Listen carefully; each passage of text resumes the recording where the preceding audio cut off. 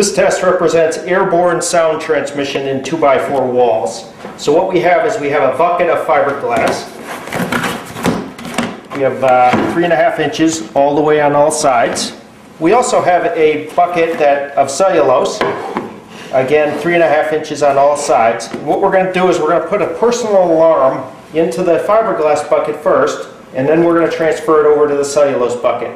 Now we have both brands of cellulose here, our Nu-Wool or our spray product for new construction, as well as our Cel Pak product for dense pack and new construction and for retrofit buildings.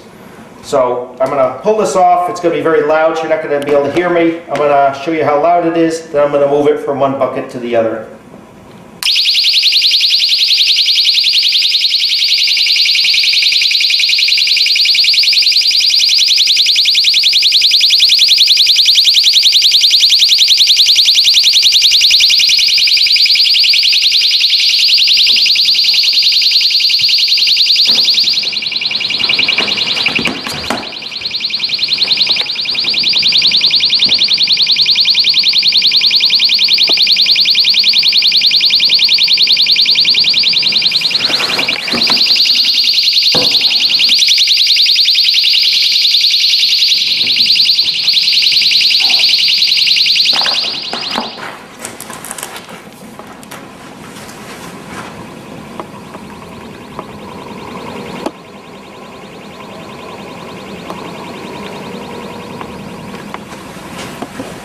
Can see that the cellulose does a much better job at, at airborne sound transmission, resisting that, than the fiberglass insulation.